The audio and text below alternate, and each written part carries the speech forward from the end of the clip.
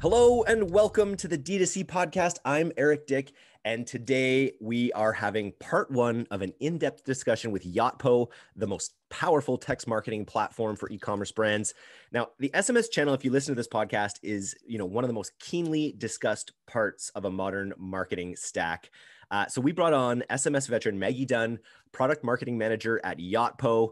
Welcome to the D2C podcast, uh, Maggie. To start with, I just wanted to know what are some signs like everyone is thinking about SMS. Everyone I talk to is either starting their SMS platform or thinking about it or knowing that they should be doing it. They're not doing it yet. What are some sure signs that a brand is ready and should invest in SMS marketing? For sure. And thanks so much for the warm welcome, Eric. So nice to be here. Really excited to, to chat all things SMS today um, yeah, there's definitely tons of signs uh, that you need to think about as a brand as you're looking to explore SMS as a potential engagement channel for your brand. Um, and I think a lot of it starts with looking at your mobile consumer. I mean, this last year, even years before, we've noticed that the consumer uh, behavior has really changed. We've seen an increase in mobile usage, 30%.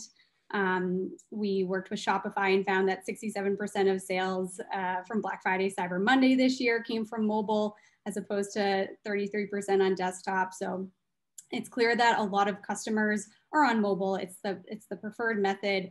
Um, I have my mobile device right next to me. Like we're all guilty of it. We love being on our mobile device. Um, so just knowing that that's where customers are, you know, you need to think about meeting your customers everywhere they are.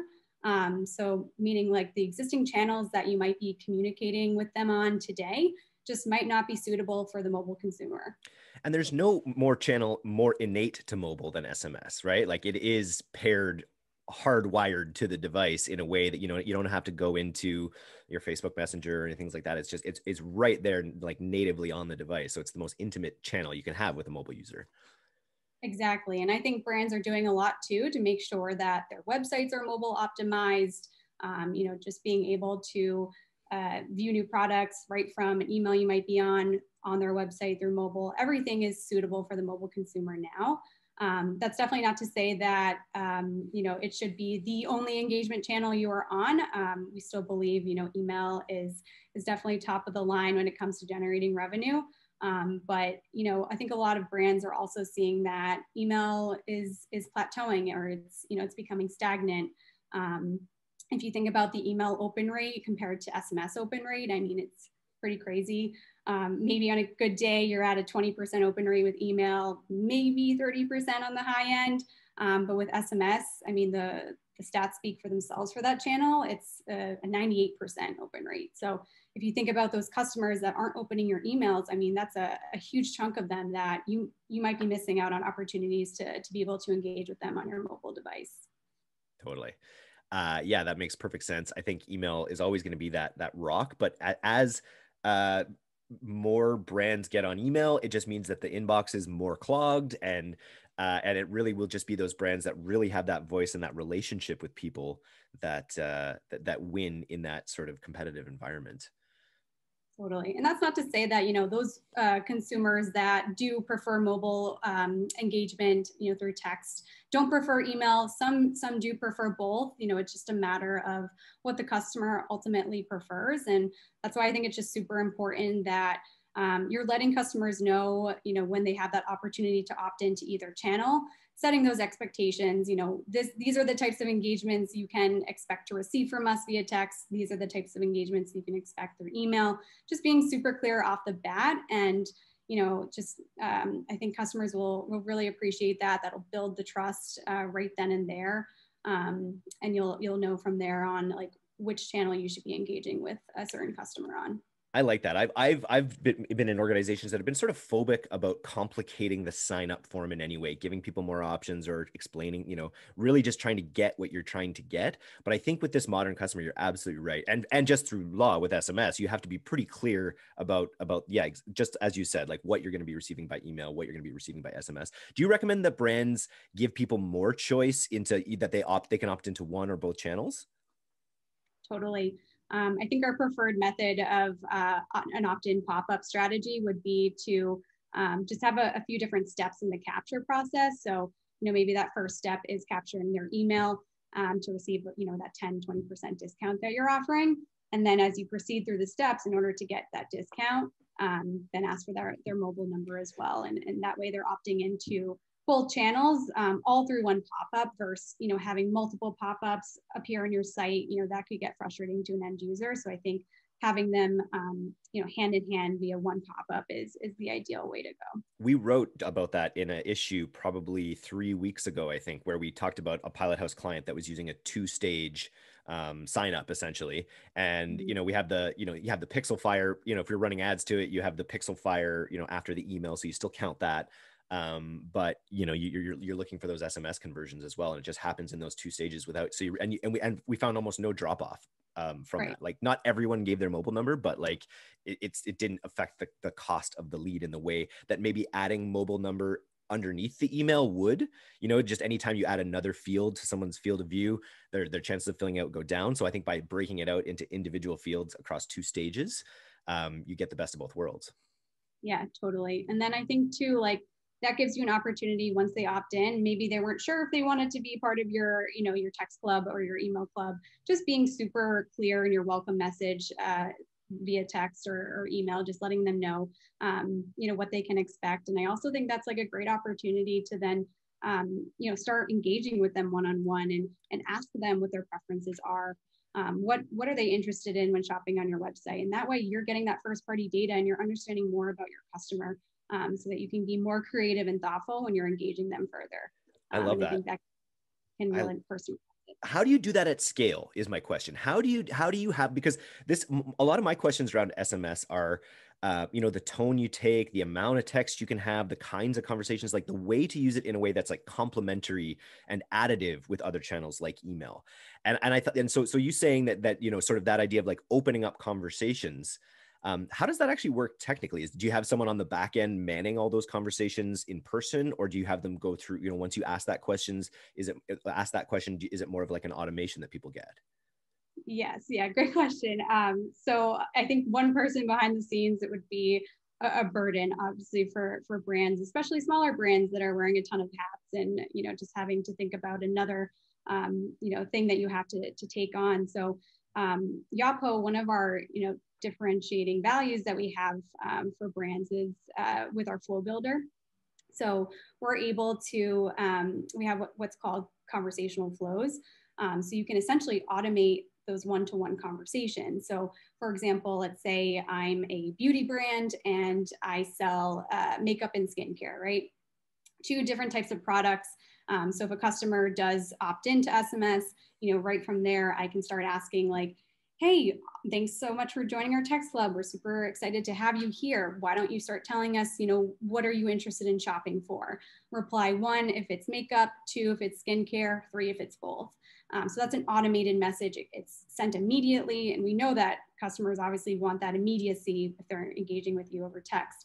So being able to, to automate that and then carry on the conversation. So if they reply, you know, um, uh, skincare, you know, anytime that you're coming out with a new product that falls under that skincare collection, you know, you'll have that data that they had originally said, I'm interested in skincare. So you can further target them um, through our, our, segmentation tool. So it, it really has this full uh, 360 approach um, as soon as you opt in and, engaging customers throughout the ter- their journey. And you probably port that data into your CRM as well, so that your email now knows what their interests are as well yes, you have the option to, to download that data and kind of put it anywhere uh, you want. But I think the, the value add is just being able to save it and have that for, um, for future segments that you can then use to target your customers. Because at the end of the day, that's what they're looking for is those more personalized messages and SMS is a great way to deliver that. I love it. Okay, so back to the, the, the question, which is what you know what brands need to look for, you know, to, to show that they're ready uh, to jump into SMS marketing. The first one being that their email platforms had gotten a bit stagnant. What's another sign that brands should be looking for to know it's time? Yeah, totally. Um, I think just uh, the the main one is that they want to drive more revenue. Um, Applies to everyone, I would imagine. I was like, I want less revenue. Maybe Elon Musk might say something like that. Yeah, I think this is a sign that it will, yeah, everyone will say yes to it, you know, think yeah. immediately, okay, SMS, I'm going to look into it. Um, but no, really, uh. the, uh, the results I think speak for themselves. Um, we see 25x ROI across the board for SMS marketing. Um, brands are seeing, you know, upwards of 20% of their revenue coming from SMS. Um, you know, brand in particular, Alkaline Herb Shop, which I believe you'll be speaking with. Um, they're, you know, they invested in SMS really to have those one-to-one conversations with their customers, and while doing so, they were generating 20% um, month over month um, revenue from from SMS marketing alone. So I, I think it's one of those channels that you know you you put a little in and you get a lot out, and it happens really fast. So you know one um, maybe hesitation that we see brands uh, talking about is just you know I I don't know how this is going to go. I don't know if my customers are going to want this. Like it is totally fine to start small, right? Like you don't have to go on with a full on strategy for SMS um, with all these different campaigns and automations that you're going to be running. Like really just start small. Um, turn on an abandoned cart flow, turn on the welcome flow, enable an, an opt in tool, and then just kind of let it sit for a month, see how things go. And then I think once you see those results pour in, you know, you're only going to want to add on to it. So being more more confident uh, once you see the initial success. So hands down, it is um, it's becoming one of the top revenue channels for for our brands. But you think, but the entry drug is the abandoned cart flow. That that just sort of like that's the minimum that you can get on. It you'd basically advise that you start capturing email, turn on the abandoned cart flow. Is there anything like once you once you get someone's uh, number, isn't there almost like an expectation that they're going to receive something, or or is that just is that not the case? Like it's almost like once you give them that, like shouldn't shouldn't there be a, welcome message to sort of welcome them to the program, or do you just recommend just sticking with the abandoned cart flow to start? No definitely definitely want to welcome them in. Um, that's like your your first opportunity your like your first impression um, on this sms channel. So um, absolutely if you're going to start you know have that welcome flow in place so that as soon as someone opts in they're getting a message from you so they know who you are. Uh, maybe you include a contact card so they can save your information so they, they you know know who you are future for future texts. Um, and then also that abandoned cart flow is what we find is just like um, such a revenue uh, a driver for our brands um, but yeah, I mean, abandoned carts, like I think what what's the average uh, abandoned cart rate? Probably around 60, 65%. That's clearly lost revenue. And I, I think going back to just talking about that mobile consumer and how distracted they are in the day to day, there's so much going on. Um, you know, maybe they just need that little nudge. Yeah. Um, so texting is like a, a perfect opportunity for that but to your point eric like i think you, you make a huge point you know you should be continuously texting them you don't want to go dark because as soon as they opt in and if they only receive a welcome message and maybe an abandoned cart flow and then months later you know you're you're letting them know you have a sale going on they might kind of look at you like oh i I totally didn't remember I was even signed up for these text messages. So you don't want that to happen. You just want to find that nice balance um, where you're, you are consistently um, reaching out to your customers through text. Nice. I, I, had a I caught a, a, um, a Twitter conversation with a, a, friend of mine, Lily, um, from Three Ships uh, Skincare, and she was talking about her SMS uh, platform, her SMS strategies, and how she, you know, she's an expert of brand voice. They've got this really fun, fresh brand voice, and she made all this effort to build a whole flow in her brand voice where she's trying to be engaging and cute and clever and all these funny things. Um, and then and, and it bombed. This particular this particular one bombed. I don't know what the exact purpose of it was but she said it didn't do well. Then she sort of switched it up to be a lot more just sort of straight to the point. Here are the discounts. Here's the product launches. Like you know and and, and i'm interested in, in your thoughts on how brands find that balance um, of of how to use voice in their sms marketing totally um, yeah and i think sms is that perfect gateway for you to explore um, play around with the copy, see what what works, what doesn't work. You know, I think that's where analytics and reporting can come in, like to understand, you know, which campaigns are, are performing well and, and others that may not be, and what are you doing with that copy? What's what's actually moving the needle there and driving those conversions. Um, you know, I, I think we we like to recommend, you know, playing around with GIFs and images, emojis, like have fun with it. It is a, kind of a, a playful channel versus um, email where, you know, you have so much room to be more creative in that sense. But, you know, I think SMS proves that, you know, you should be engaging in it. And how can you do that when you have such little uh, you know room to to share your message so you know i was speaking to a brand a couple weeks ago and you know his his approach is just to be like you know what we are short and sweet um, we like to be playful with it um, but you know, it, it is at the end of the day a notification. So we use it to our advantage when we're doing product drops to be like, hey, limited time only, um, you know, get it while it lasts. You know, I think giving that sense of urgency within the text message can really go a long way. So, Great you know, tip. create that FOMO feeling, um, let them know it's limited time, it, it, making them feel like it's a headline. So maybe you want to follow up with more content in an email if you do want to tie it in with your email strategy. So I think there's a lot you can do with it.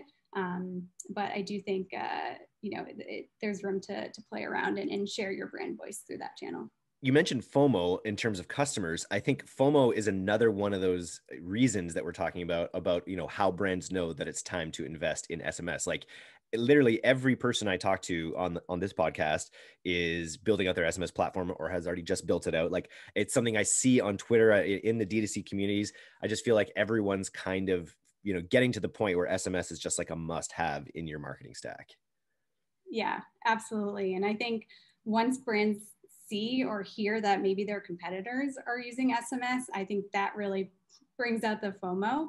Um, we ran a consumer survey and i think it was around 50% of consumers were already signed up to receive text from brands um, with who we polled. And you know that right there like your competitors are you're they're already engaging with those customers on that channel. And i think you know you, you might be losing out on just revenue that you could be driving from uh, from the channel alone. So if that doesn't um, kind of push you towards uh, sms i'm not sure what will yeah I, you know, the other we, we talk about getting your customers for cheaper and then getting, you know, building their LTV, building their AOV, their average order value, and bringing, you know, and uh, and growing their LTV, their lifetime value.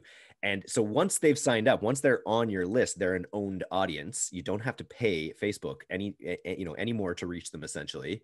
Um, and, and SMS is just one of those tools that's just like super built for retention. Um, to, to keep people to let them know when their orders are coming up, what, you know, when the renewals happening, what special offers are available. It just seems like like an ideal tool for retention. Definitely, and I think it ties really well with your most loyal customers. Um, so, you know, just speaking to the Apple loyalty product, SMS and loyalty really do go hand in hand for retention. Um, and I, you know, we found that Princess Polly, one of our brands, 50% of their loyal customers are actually already on SMS. So they're they're able to take their strategy with SMS a little bit to the next level and create segments of their customers when they are reaching out with campaigns. So they're targeting their loyalty based customers, they're tar targeting their non loyalty customers. And what they're finding is they're generating more ROI from those campaigns with the loyalty segment alone. So, you know, I think um, brands that have those loyal customers that are so excited about engaging with the brand over text and want to really have those one-to-one conversations through text like they're ready they're willing and able to sign up so you know you you just need to meet them where they are um, and connect with them um, on a deeper level. And I, I think um, it's super important that you need to let your, your customers know that you do have an SMS channel. So once you do start investing in it, share it with the world. Like have an email campaign go out on it. Obviously have a pop-up on your website. Um, social media, have a social opt-in tool. Like again, your customers are going to be everywhere, no matter where they are in the buyer journey.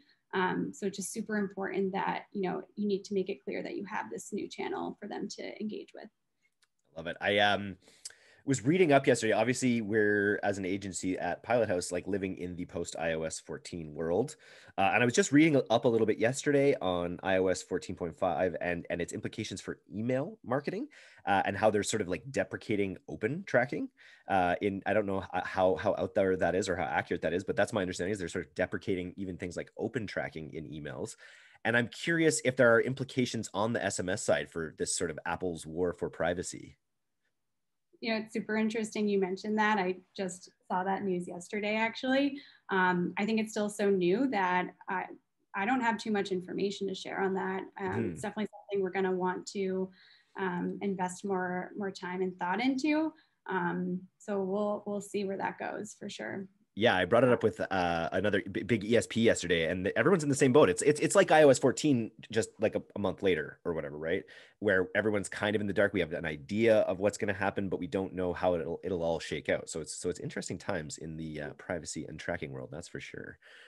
Totally, um, and I um, think it shows that you know you need to be that much more strategic in the way that you are connecting with your customers to, to the point where they trust you enough to actually share their information with you um, which goes back to the point we were talking about earlier just how important it is to let customers know when they opt in what are they opting into what types of communications they're getting and all of that.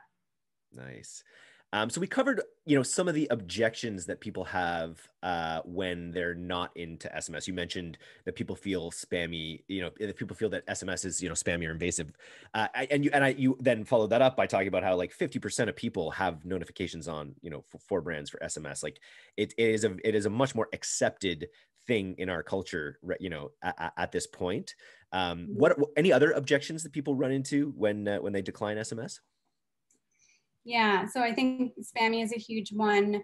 Um, another one too could be just that you know they're they're unsure if they're able to take on a new engagement channel, which totally makes sense. I mean, think about all the different you know tools they're already managing today. Um, you know, we were working with a brand, uh, American Hat Makers. They um, they're leveraging all of our products right now, and you know, they were like, all right, we're, we're taking on SMS. Um, and they were able to like, you know, set up the, the main flows like the welcome flow, the abandoned cart flow, um, a couple opt-in tools. And um, they kind of just let it, let it sit and, um, you know, didn't pay too much attention to it, not because, you know, they, they didn't want to, just because their resources were so strapped. And, um, you know what they realized they're like you know we can do so much more we're seeing the revenue come in we just we, we want to be able to optimize it so they actually enlisted uh, the help of um, their agency Curio and um, their Yotpo CSM to kind of join forces and and um, and see what what we can make of this channel and um, just little things of optimizing the copy um, to be more of the brand voice, um, enabling like the the loyalty and reviews integrations through SMS, so customers were getting loyalty updates uh, via text and just adding on little by little, um, they were able to just take their their revenue that they were seeing and increase it by 80%. So I think you know it is totally fine to again um, you know start small, and we recommend that, especially if you are a smaller team. Um, so don't be afraid to do that, and don't be afraid to ask for help because I know our CS team is is here and able to um, to connect and work and understand what their the brand's goals are, and really just be an extension of their team and, and help really drive um, the optimal strategy. So don't be afraid to, um, to seek that help. That's why customer success managers are there. And that's why Yotpo was willing um, and able to, to make sure you're seeing the most success with SMS. Nice. Uh, what are some brands? Are there any brands that you just love personally that that you have a SMS relationship with that you think are doing it really well out there? I do. I, am guilty of being signed up probably for way too many texts, but you know, I can't, I can't. You have to research. It. Yeah. It's research. It's also just, yeah, exactly. It's, it's more research than not. Um, but I think Steve Madden, um, props to them. They, they're doing a, a, great job capturing my attention, just letting me know those like promotional updates. Um, also Princess Polly, I've been shopping there a little too often than I should be. Um, just again, they're they're able to just grab your attention like they did a um, like a secret sale where essentially they didn't unveil what the discount code was through the text, but you you essentially had to click through to find out what it was. And I there's something about that that like just made it super enticing um, to make you click through. So again, props to them for for being able to to create such um, powerful messaging that really can can drive attention. And I know for them specifically, their um, their primary uh, demographic is uh, Gen Z. And if you, I don't know how much you know about their attention span, but it's very small. Um, so they they kind of have to intertwine that into their strategy. Like, how are we going to keep their attention? How are we going to keep them coming back and, and really only thinking about us um, all the time? So uh, I think it just as long as you are consistent with your messaging, and I, that's where the effectiveness is going to come. Um, obviously, you, you know, you don't want to be messaging someone every single day. Um, but that's where I think it also comes uh, in handy to reach out to your customers and understand what their preferences are and, and what the relevant offers would be to them so that you can really customize it, segment those groups of customers and, and really um, hit home your, your messaging to each one. I love that. You got the Princess Polly click through rate. I'm just wondering what that must be. If you got a 90% open, 98% open rate, and you have to click through to get the the promo code, uh, like I always, you know, as a marketer, I just think about the cost of clicks, and they're just they're just so expensive.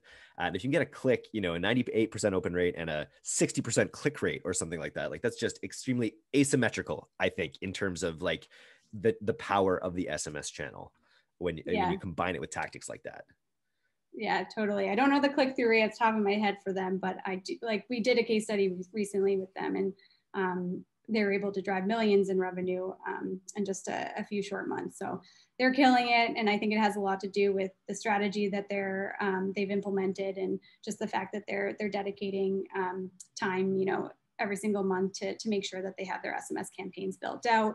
They built out um, you know sms calendars you know they're really on it with um, with their approach. So uh, it's it's working well for them. Nice. Well, I'm excited for part two of this interview that I'm going to take with Gabe to dive into a little bit more of the tactical side of S- SMS marketing. But for now, if people have heard enough and they're just like, I got to work with Yotpo, uh, what what do you what do you recommend they do? Do it. just do it. D2C sent you. Yeah, of course. Um, no, seriously, I think it's it's a channel that you know. I think your customers are there. They're willing to engage. They're ready you just need to pull the plug. And I, again, don't be afraid to start small. Don't be afraid to enlist the help of your, your customer success manager, strategist. You know, everyone is, is willing and able to help. We know, we recognize this is a newer channel, but it's a channel that is here to stay. It's a channel that will eventually become one of your top revenue generating channels. Um, and I think, you know, hopefully the results speak for themselves just in terms of SMS alone, um, but also Yotpo SMS as well. So, you know, just read our case studies and um, I think you'll be uh, pleasantly surprised with the results should you uh, invest in SMS. Fantastic. Well, thank you so much for coming on the D2C podcast today, Maggie. Uh, have you, a great rest of your week and uh, we'll catch up with you again soon. Awesome. Thanks so much. Bye.